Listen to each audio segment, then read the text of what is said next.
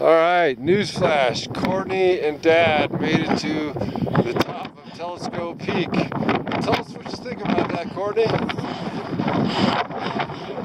so good.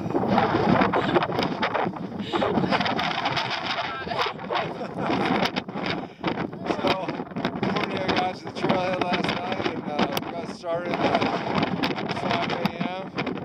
The wind has And about 20 degrees up here. I can't show my face. That's why I'm talking like I have marbles in my mouth. Anyways, Courtney and I are at uh, about 11,050 feet, which surprisingly, I'm out of breath a lot more than I thought I'd be. It's been about a month since I've been to altitude and I'm dog tired. But the view is awesome.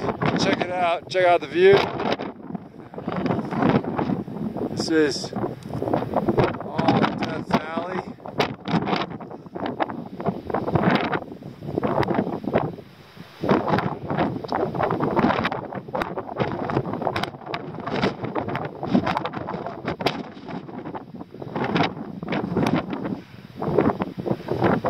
All right, Courtney, we're back to you.